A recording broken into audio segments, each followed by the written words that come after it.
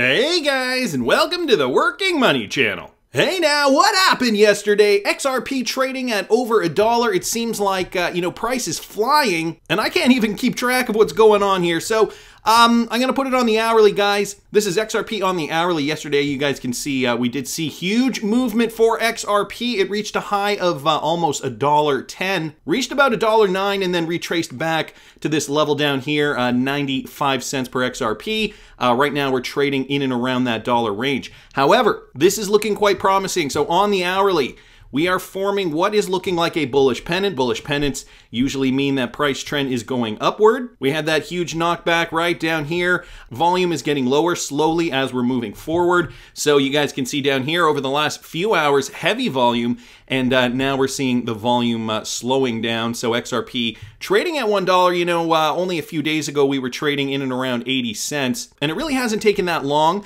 uh, for XRP price to move. So in yesterday afternoon's video, I was talking about that fractal pattern that we saw back from 2017 and uh, just noticing some similarities there. If you guys didn't catch that video, I'll link it up here in the top right-hand corner. And I mean, you know, if we are following that fractal pattern, if we if we do end up following it, we could see XRP make its way back up to the 0.5. So uh, that would bring us to a dollar 23 before we really start to see meaningful sell-offs and price uh, declines a little bit. So that is, uh, I mean, if we were to follow that fractal uh, very closely, that is what we could see. We're already starting to see a bit of uh, rejection here at the 0.382. Um, so let's see if we can break through that, guys, get up to the 0.5, see if we can maintain price here at the 0.5 or uh, if XRP will come right back down here to the 0.236, trading in at around 85 cents. And BTC, I mean, what happened to BTC? We are seeing a bit of movement upward, although not as much as XRP. And so could we possibly be witnessing a decoupling? Is something taking place here? Here's the crypto market cap. Uh, market cap up nearly uh, towards $1.9 trillion, and Bitcoin losing its dominance now, just shy of 45%. Uh, we can see in the last 24 hours, Bitcoin is down, Ethereum is down, but we have the altcoins up, and uh, XRP leading the pack here at 13.13%. So interesting to say the least. Uh, we've got Russia saying, you know, Bitcoin has just been a minefield to navigate. The Bank of Russia has expressed concerns over the increasing number of local investors pouring their money into Bitcoin. So the Russian Russian central bank has once again reiterated its negative stance on Bitcoin, with one of the bank's top executives comparing the cryptocurrency with a pyramid scheme. So here's the narrative coming out of Russia. I mean, whether they're doing what they're saying is a separate issue, but here's what they're saying. Uh, so here is uh, one of the uh, deputy governors of the Bank of Russia, Shvetsov. He said that uh, local investors have been increasingly pouring their money into alternative financial instruments that he referred to as uh, technological financial pyramids, stating that Bitcoin is just one such pyramid scheme. He said that many retail investors expect huge returns from cryptocurrency investments, selling their real estate holdings or taking loans in order to invest in Bitcoin, despite the huge risk of losing all their money. And can you believe he had the gall to say this? There is no need to walk where you are not protected by the Russian Federation. This is coming from that uh, deputy governor of the Bank of Russia where your money would be simply taken away and you will not be able to do anything about it. So the Russian government warning their people about investing in Bitcoin. Interesting considering I think I remember hearing something about the Bank of Russia getting into Bitcoin specifically. I could be um, misremembering that, but if you guys uh, do have a source for that, please do put it down in the comment section. Um, and then there was that story from yesterday that $600 million worth of crypto tokens stolen off the Poly network. If you guys didn't catch that video uh, just a few minutes ago, I did link it in the top right hand corner. Apparently, the hackers have just given back some money. This from Michael at Val5 Links. The Poly network hackers stole over 600 million in crypto from the platform, and they returned a substantial amount of loot on Wednesday, which was yesterday. The total sum returned is about $342 million and roughly represents almost 50% of the 613 million drained in arguably the biggest crypto heist in history. The cross-chain DeFi platform received a return loot in USDC, BUSD, SHIB, and FEI tokens. All return assets were paid through the Binance Smart Chain, Ethereum, and Polygon uh, at Poly's request, according to a report. So I guess the hackers said, you know, well, 300 million's, I guess, a pretty good score. We'll return the other 300 maybe, and you'll leave us alone. In the wake of the initial heist, which occurred on Tuesday, Poly Network called for the blacklisting of three addresses linked to the alleged hackers. So Polygon already obviously took some measures to uh, track down these hackers, and um, you know the hackers turned around, gave them back three hundred million dollars. And even Tom Robinson down here, chief scientist of blockchain analytics firm Elliptic, believes the hackers returned the tokens out of fear. He says uh, it is difficult to discreetly handle stolen cryptocurrency due to blockchain transparency and analytics. According to Robinson, the hackers concluded that the safest option was just to return the stolen assets.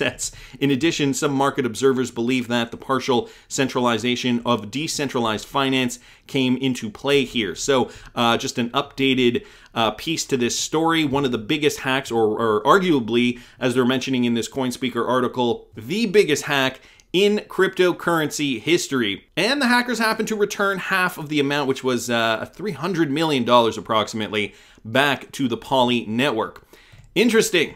We've got this update too, and uh, you know, this is something that we should be paying attention to with regards to the Ripple and SEC case. And I'm going to talk about this a little later in this video. This from uh, James K. Filan here on Twitter, uh, giving us the latest breaking news on the Ripple SEC case. So, uh, with regards to the case, the SEC has requested two additional days until Tuesday, August 17th, 2021, to submit a motion to seal the exhibits filed with Ripple's letter challenging the SEC's improper assertion of the deliberative process privilege.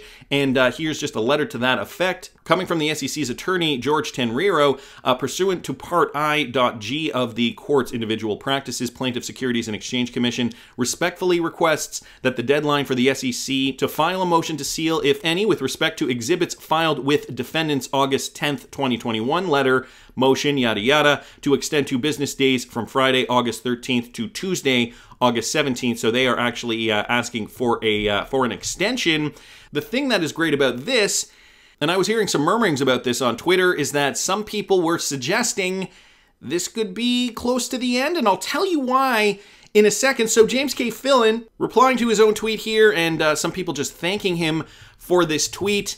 BondCrypt XRP also uh, mentioning this. So, we are all seeing the way the SEC is handling the lawsuit and how they are literally non compliant, making a complete mockery of the judicial system right before everyone's eyes. Uh, and he tags John Deaton and uh, Jeremy Hogan and John uh, James Filan in this. Why doesn't the courts slash judge rule harshly on them? If we all see it, so why can't they? I'm no lawyer, but the feedback comments and tweets portray the feelings of investors. I would have thought some form of reprimand would have already been forthcoming. Still, not present documents, plus not even disclosing which assets Poloniex were buying and selling considered securities in the settled lawsuit. Are we missing something legally here we are not privy to? The lawsuit itself doesn't seem to be in a level playing field at all, but rather one sided, thanks in advance. And so, uh, just, uh, you know, an observation here from Bond Crypt XRP. And so I just wanted to show you this because I thought it was kind of cheeky. The SEC a couple of days ago said today we announced that Poloniex LLC has agreed to settle charges for operating an unregistered online digital asset exchange in connection with its operation of a trading platform that facilitated buying and selling of digital asset securities. Well, we all know about this. David Schwartz responding with this meme here. Poloniex has agreed to settle charges for selling digital assets that were securities. The SEC, which assets were securities, right? And uh, if you're not looking at the screen, you kind of have to take this meme in visually to really understand it. A bit of a flippant look from this gentleman here, and uh, the girl asks again, right? Basically, David Schwartz suggesting the SEC not being transparent with uh, how uh, they are classifying digital assets in the space. Uh, as we all know, this has been a problem, and uh, I mean, I don't have to dwell on this anymore. I thought I'd just bring this uh, David Schwartz response to this. I'm going to keep going because we do have more news here with regards to crypto regulations uh, in the United States broadly. So, this from Michael at Val5 Links. U.S. Congressman Patrick McHenry has slammed the U.S. Security and Exchange Commission for asking for jurisdiction over all crypto exchanges, including non securities ones. He called it a blatant power grab that will hurt American innovation. So, this from Bitcoin.com Republican Congressman Patrick McHenry from North Carolina released a statement Wednesday in response to a letter SEC Chairman Gary Gensler sent to Elizabeth Warren about cryptocurrency regulation. Senator Warren shared the Wednesday letter Gensler wrote. I believe we need additional authority. Here's a quote I believe we need additional authority to prevent transactions, products, and platforms from falling between the regulatory cracks.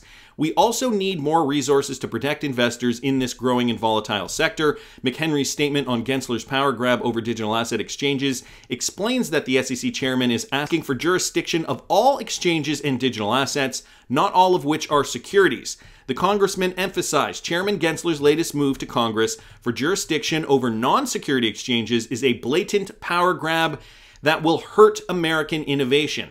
Given the distinct nature of digital assets, policymakers must be thoughtful and deliberative in legislation in this space. McHenry then mentioned a bill he introduced, H.R. 1602, to eliminate barriers to uh, Innovation Act, which the House Representatives passed on April 20th and is now waiting for the Senate to take up. The bipartisan bill uh, to create a digital asset working group comprised of the Commodity Futures Trading Commission, or the CFTC, the SEC, and market participants to bring much needed regulatory clarity to the digital asset ecosystem, McHenry detailed. Elaborating, and here's another quote We need smart policy made through a transparent process to ensure innovation and job creation continue in the U.S., and don't need another backroom deal between Gensler and Elizabeth Warren. Boom. I'm glad he called him out on this.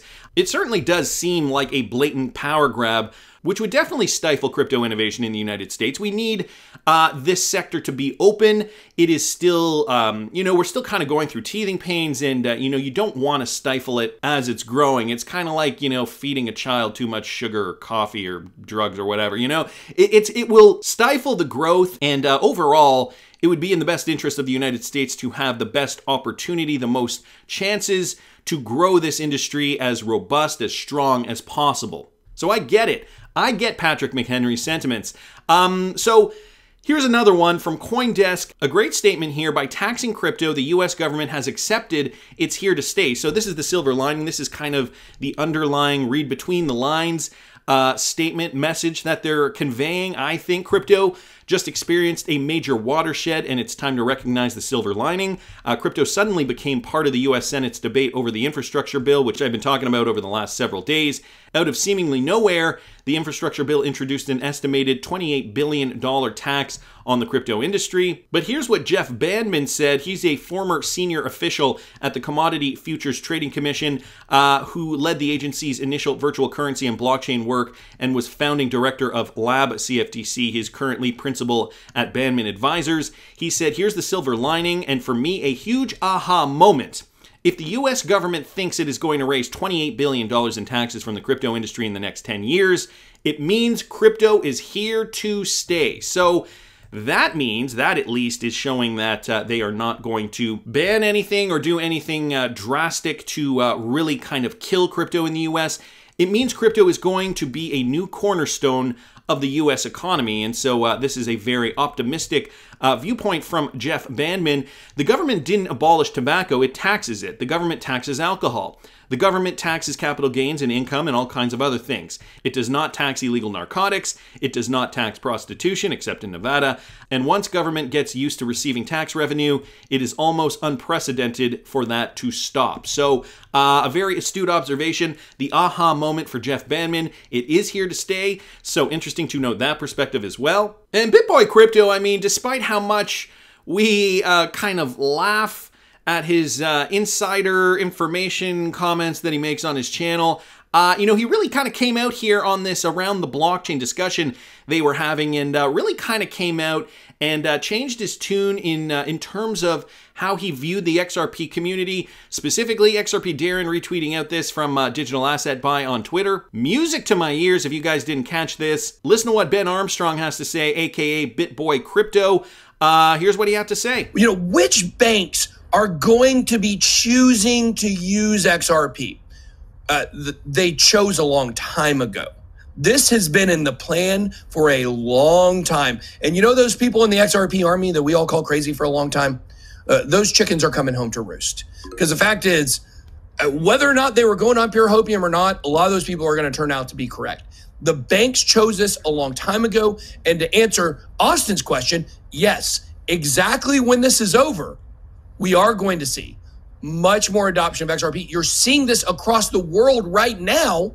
Uh, we've had so, South Korea, Singapore, Japan. We've seen this just in the last few days. Thailand, uh, an SBI, by the way, an Indian bank.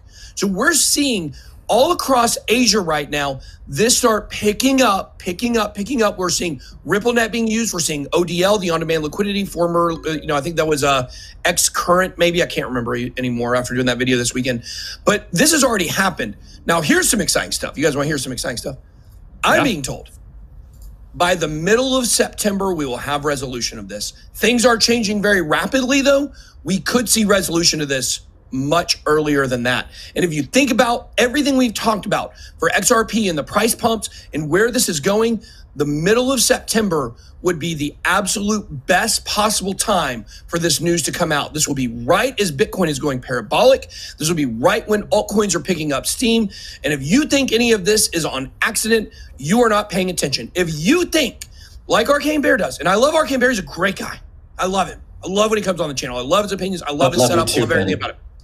And I, and, and, and I would agree with everything you said. I want to be very clear about that a, a while back. But the fact that you think that it, Ripple is battling the SEC on merits, it's just incorrect. This decision has already been made. There are people higher than the SEC that are bringing these decisions. This is not the SEC sitting around determining whether they think Ripple's a security. There are much bigger things at play. Boy, it seems like Ben Armstrong has uh, learned quite a bit over the last month or so. I mean, he still is getting some facts wrong, like uh, SBI is not an Indian bank. Um, nevertheless, he is learning more about XRP, about the XRP army, that we're not all crazy. Um, you know, he called us crazy for a while. A lot of the Bitcoin community did. And I'm kind of glad, you know, in a way. I mean, even if he is doing it for the subscribers, for the viewers, um, you know, jumping on the XRP bandwagon, he is still going against that Bitcoin narrative that uh, a lot of those maximalists uh, want to kind of grasp and, uh, you know, discredit XRP because of X, Y, and Z. We know all the reasons. Uh, he is going against that. He's going against the grain and uh, educating them to a degree of how XRP is going to be utilized. I mean, all the things we talk about in the XRP community, all the things that we've known for years now, Ben Armstrong or BitBoy Crypto is getting out to all his Bitcoin maximalist friends. And you notice how he said September is going to be that time where we really see something change. Bitcoin is going to be rallying and altcoins are going to be following along with it. Uh, XRP obviously taking up some steam as of late.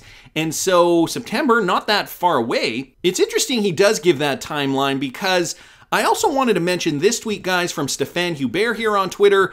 Remember what the last activities were before not only the Telegram case was settled, motions to seal documents, and he retweeted out his tweet here from August 2nd.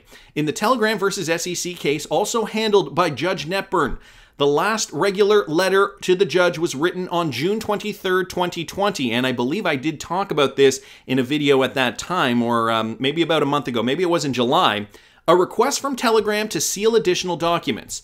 Three days later, the settlement was announced with a proposed judgment. Now, with this new information, too, right? The market rallying, um, BitBoy Crypto thinks he's hearing something. I mean, I don't know how uh, legitimate his sources are, Mid September, he's thinking something is brewing. We have this from Stefan Hubert talking about the Telegram case, and the last letter they submitted was a request from Telegram to seal additional documents. If you guys remember uh, earlier on in this video, I talked about the latest development in the Ripple XRP case. Uh, against the SEC. The SEC has requested two additional days until Tuesday, August 17th, to submit a motion to seal the exhibits filed with Ripple's letter challenging the SEC's improper assertion of the deliberative process privilege. So they've got a deadline here, August 17th. We do have the cryptocurrency market heating up, which uh, then begs the question why is XRP pumping so hard compared to the rest of altcoins? Why in the last 24 hours are we seeing XRP at double digits and uh, you know the rest of the market just kind of staying flat or uh, staying down? Could this even be a run up for XRP price based on perhaps something that somebody knows behind the scenes. The last letter that Telegram submitted was a request to seal additional documents. Here, the SEC wants a two day extension to submit a motion to seal the exhibits filed with Ripple's letter challenging the SEC's improper assertion. And for whatever reason, XRP kind of breaking away from the rest of the crypto market with this latest pump. Does somebody or a group of people know some insider information? It's quite possible, but I want to hear what you guys think. Please subscribe to the channel if you haven't already. Like the video if you like the content I'm providing. I always love hearing your comments. See you in the next one, guys.